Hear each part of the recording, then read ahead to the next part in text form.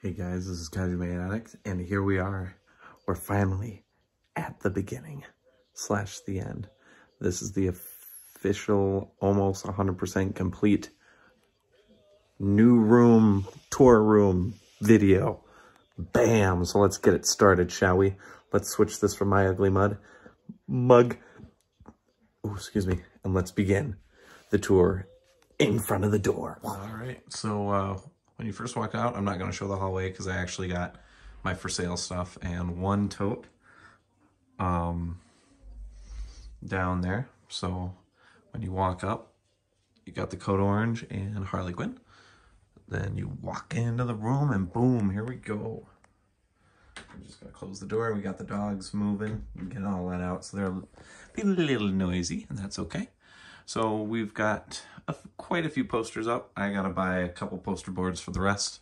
So I've got that uh, New Age Harley Quinn, my uh, Corey Taylor Into the Darkness Volume 1 poster. My Volume 2 poster has to go up next to it. And then next to that is my signed Stone Sour poster. That's the second Hydro tour.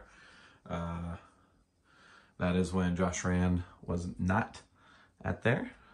Um, down here we got the bed, so we got my big Godzilla blanket on top of the Slipknot, uh, my Slipknot uh, blanket. Um, super nice. I got this back when I saw them in Nebraska in 2019, right before We Are Not Your Kind came out. Obviously, it's the We Are Not Your Kind. And then the first shelf is the Monster Art shelf. Oh my god posted about this already. As of this moment, I have 96 likes on just the Ghidorah picture, which is insanity. Oh man, thank you guys so much. I really do appreciate it. That's really cool. So we'll just kind of, we're going to take a quick dive at this. So I got the 2014 there, looking awesome. I really do like that figure. It's just, the head articulation is awful, but I like that his head's actually big compared to these two boys where the head's a little small. So, but I've got Burning Goji and 2019 Goji right in front of Ghidorah. Ghidorah being just gigantic. I love this figure. It's such a love-hate relationship. I love him, and then he also is just a pain in the butt. So, uh, down here, we've got the Millennium Shelf. So I've got the Special Color Edition Godzilla 2K back there, the standard GMK, and then I've got the Shinagawa slash Final Battle version of Kiryu, and the Godzilla 2002, the recent re-release of him. Um, I love these two. They look so good together. Uh, the next one is kind of just a miscellaneous shelf. Um, I don't have a lot of Showa, and honestly, when it comes to Heisei, I have more of a certain movie of Heisei. So I put my Mechagodzilla, Rodan, and Space Godzilla all together here. I put 54 and 74 together just because they kind of look cool. It's kind of nice having the two Mecha G's together. We got Rodan there looking awesome. We got Space Godzilla spikes. And, all right. Sorry about that, guys. I had to take care of something quick. And down here, we've got the Godzilla vs. Destoroyah shelf, the almost complete Godzilla vs. Destoroyah shelf. I'm just missing that crappy evolution set. So, but otherwise, we've got the standard burning OG Godzilla. We've got the OG Junior, and then we have the special color edition Destoroyah, which right now, through my camera lens, it looks like he's actually lit up a little bit. I don't know how that's happening, but that looks really awesome with those lights looking like they're the horns glowing and the eyes are glowing. He's not glowing, it's just the light. And then we've got the weaponry or the weapon set um, as well there. The next sec section, we have my newly acquired Monster Art Shin Godzilla. He's so awesome. I love this figure so much. And we have all of my military vehicles attacking him. I just thought I would give him something nice. Um, this shelf will probably become Shin Godzilla and a few of the others. Uh, sorry. Uh, seeing as we're going to be getting, I, I mean, at least five new monster arts this year. And the shelves are already kind of packed. So one of them will go down in the next shelf, but then the rest, I have no idea. Like Gigan, I have no idea where I'm putting Gigan. And, you know, the obviously hinted, teased at Godzilla 2004. That is coming. It's not confirmed, but it pretty much is. There's a few sites that posted on Gigan's thing that said Godzilla 2004 not included, which means the photo that looks cropped is cropped. It makes sense. Why would they have gotten a Monster Arts display with the Godzilla 2004 suit? It's pretty obvious that 2004 is probably coming at the end of the year or the beginning of next year. So, enough ranting about that. Um, but yeah, so they'll probably go in here with him because that's going to be a really good looking setup. Then down here we've got Biolante and all of her glory, except the two back tentacles don't fold up enough for me to uh, have them fully on. So I actually had to take them apart, and now they just kind of sit at her side, which is kind of depressing. Uh, but the Godzilla 89 that comes out this year will help hide that little weird defect. So I got the LEDs on her. Once again, the video is making it look a lot brighter than it is on the shelf, but I'm kind of fine with that. It makes it look epic. She's epic. Whew. She had to get a shelf just by herself because she, she's just massive. Uh, the next shelf is what's left of my Ultraman figure arts collection. Uh, we got Zero, Belial, uh, Zetton, Seven, Ultraman, and Gomora. So just the the few that I thought that I that I really wanted to keep. I've sold off the rest of them. So, but I really like this display. I there's a few figures I would like to add to it, but I haven't yet. So down here at the very bottom, this is just a miscellaneous shelf of things that I like. I really like Spider-Man, Venom, and Carnage, so I've got a my Revoltech Venom and Carnage duking it out. I've got Carnage all, like, pretty much all of his tendrils are on that figure. Just attacking Venom, and Venom's being a copy, coffee, cocky boy, because that's what he does. Um, I've got my Figuarts, uh, Kylo Ren, uh, Last Jedi, and Darth Maul uh, in the back there. Um, I decided I just couldn't get rid of these two yet. I might sell them later down the line. I don't know. I really do love Darth Maul. I think I'd really hate myself, and I really do like Kylo Ren too. And I love this figure. He's really nice. So I probably won't end up selling those two, but they're just here to show that I like a little bit of Star Wars. And obviously in the front, my last remaining Figma FGO figures. Um, Jalter, I mean, is literally like, if we're going to say waifus, like she's my waifu, so can't get rid of her. I still need to buy Berserker, her swimsuit version. And if there's another version of her, then I have to buy it because I, I mean, Jalter's my favorite character. And Gilgamesh was literally, he's one of my favorite antagonists, and he's the figure out of the whole line that I waited so long to get. I just could not part with him. I I don't think I'll ever be able to part with him, even if he gets like becomes a lot of money. He's just he's so cool. I love his figure. But those are the only three figure or Figmas I have left. So they all look awesome though. I love them. And then the last shelf is my very minimal um, MCU SH Figuarts display. Got my Infinity War Thanos versus my Endgame Iron Man, Endgame Cap versus uh, the first edition Thanos.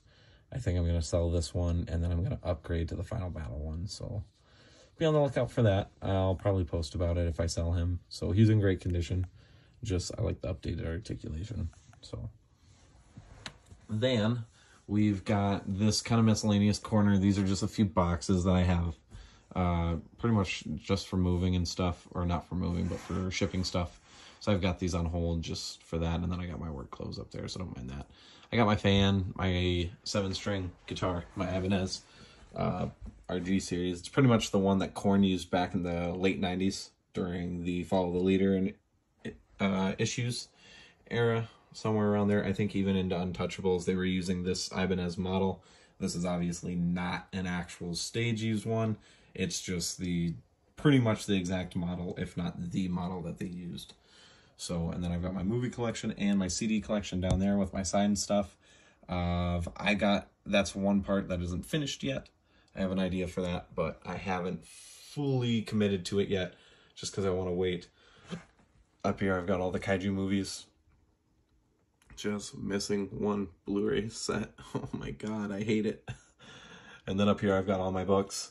Um, both of my um, band ones. I've got my Five Finger Death Punch Jeremy Spencer, and then I've got my David Gunn uh, King Eight One Zero Eavid uh, Summer uh, Summertime in Murder Town. So, and then I got all my Corey Taylor books, of course, and my Pacific Rim novelization.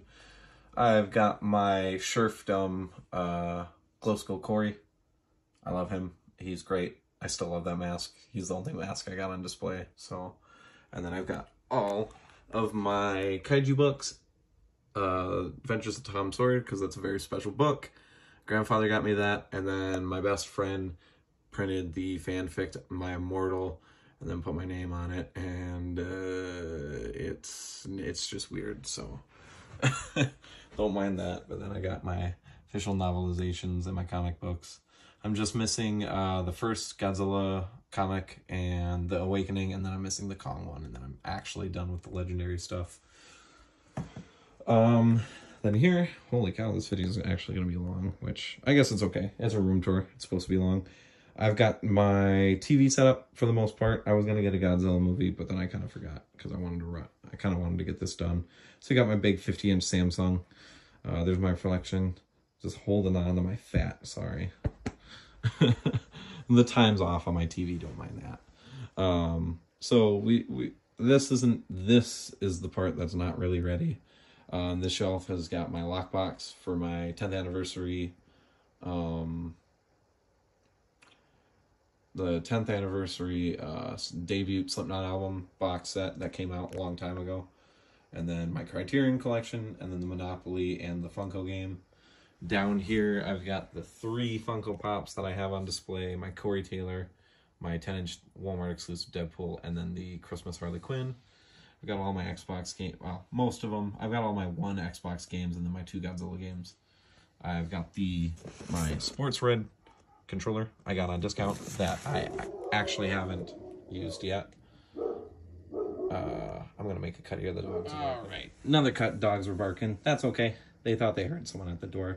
They're still getting used to the new place, so I'm just trying to work with them. Um, so that's the new. This is the Black Friday exclusive controller. I think uh, got a discount at Walmart. So I got it on clearance. Uh, there's my broken Switch that still hasn't been shipped off yet. That I should probably do that soon so I can get it fixed so I can play my Switch. Then on this shelf is actually a very special one. So we got my first and one of only two Sofubi Godzillas that I own in hand right now. Not saying that I may have got one. I've got one hopefully coming next month. It's on a payment plan, so it'll be a little bit till I get him. And then I got my first Bandai Creation Burning Godzilla. Uh, he had no spot on my shelf, and I didn't want to get rid of him, obviously. Uh, this Godzilla specifically has a lot of... Um, he's, I really care about this figure. Like, I couldn't get I couldn't get rid of him, so he is on the shelf with the Sofubi. Then I've got an accessory box and my little uh, stuffed Godzilla that came out. And then whoop, whoop, whoop, the vinyl shelf. Ooh, yeah. So I'm not to talk you through all of these. Y'all know these.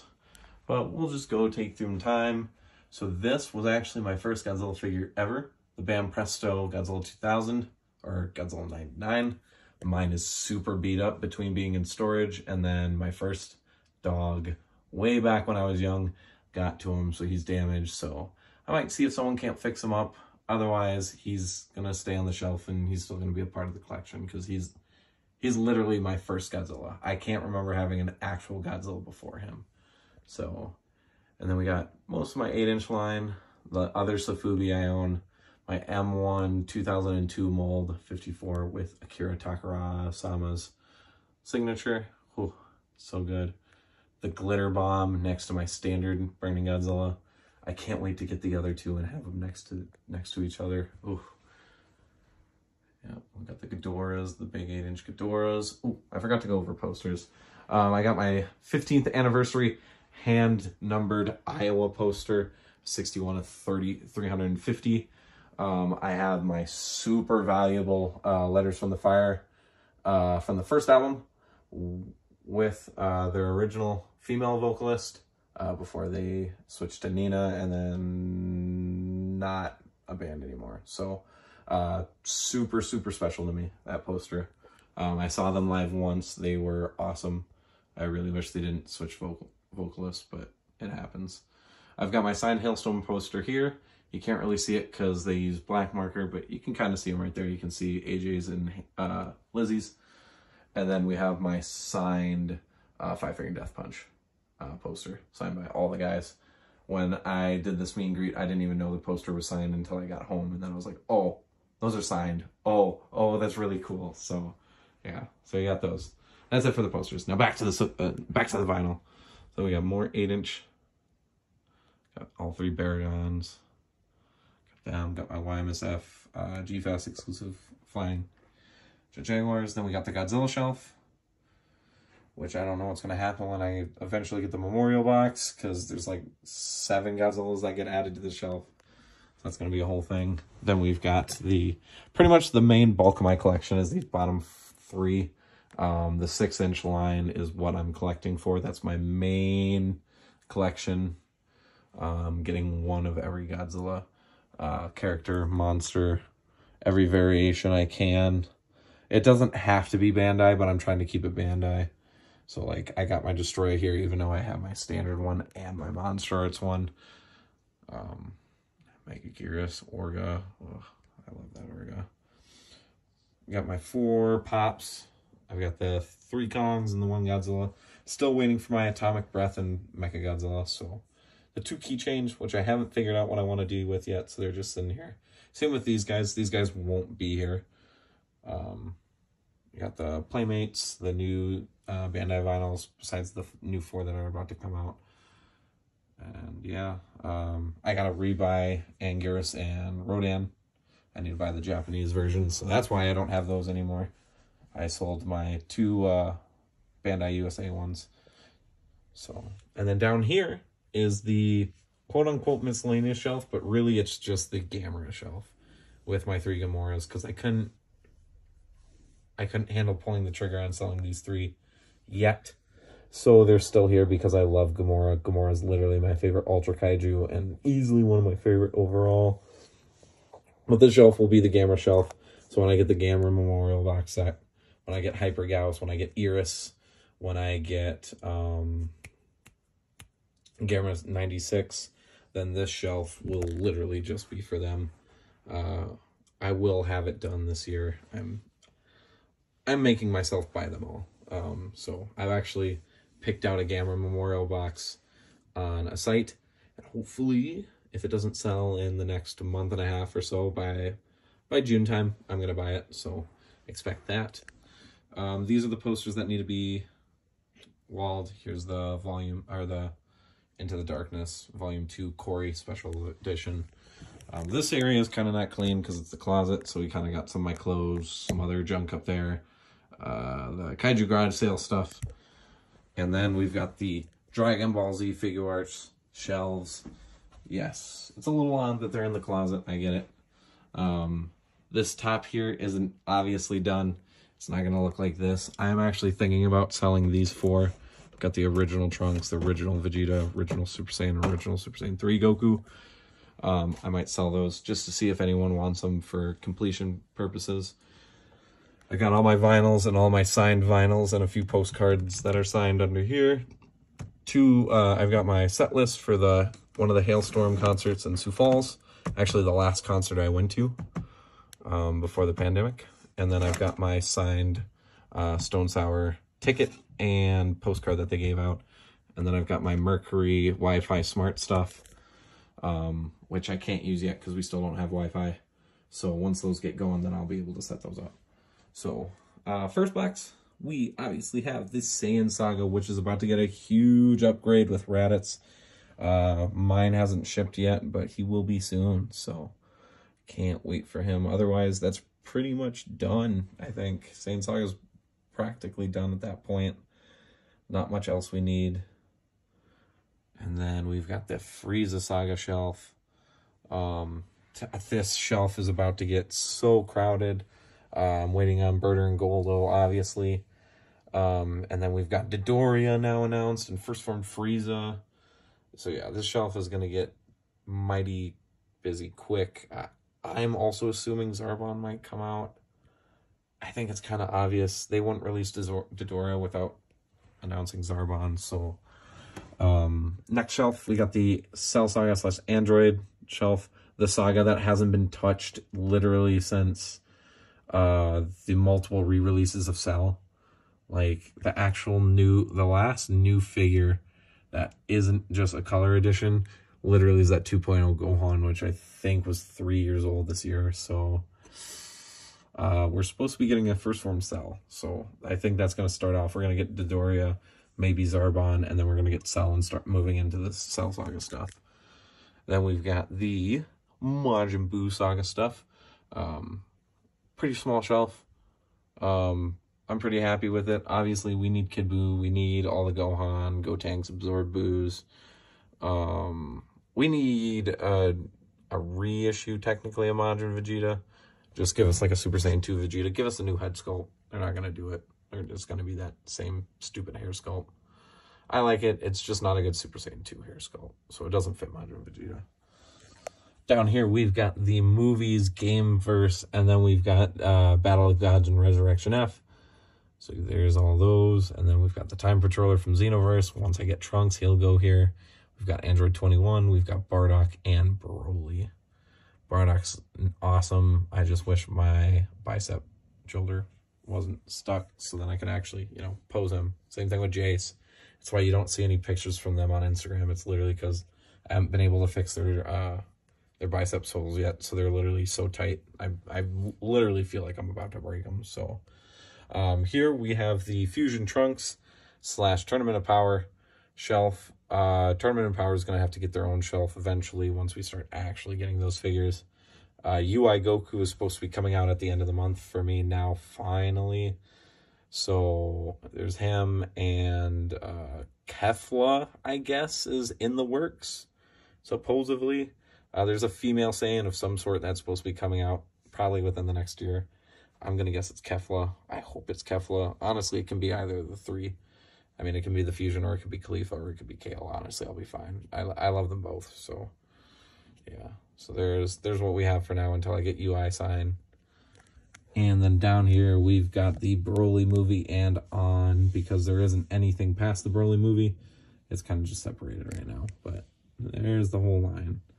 So yeah, I'm only missing Xeno Trunks, and then I'm caught back up when it comes to one release of a figure.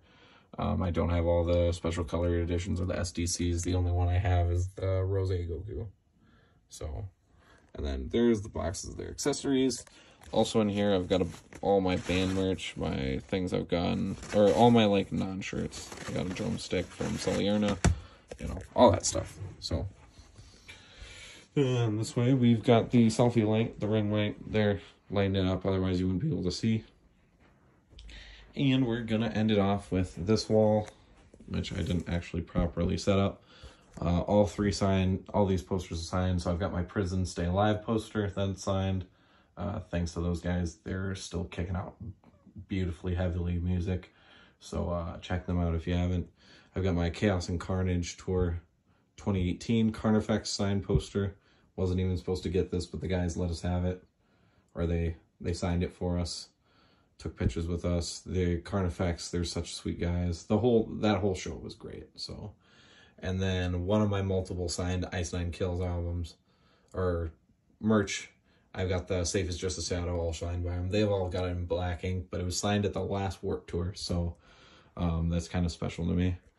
Then ending off, we've got uh, the review station, which just has some stuff on it because it's also kind of where I just set my regular stuff. So that's it for the room tour. Let's, uh, I'm going to stop this cut, switch it back to my face, and we're going to end this off. All right, guys, that is it for the room tour.